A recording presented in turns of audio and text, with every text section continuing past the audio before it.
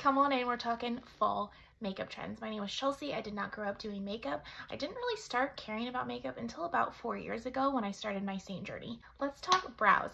This is our Seint Brow Wax, and it's going to look like there's nothing in the tin when you receive your Seint Brow Wax. This is how you're going to activate it. You're going to spray a little setting spray on the top, then you're going to take your line brush or a spoolie brush, and you're going to brush your brows up.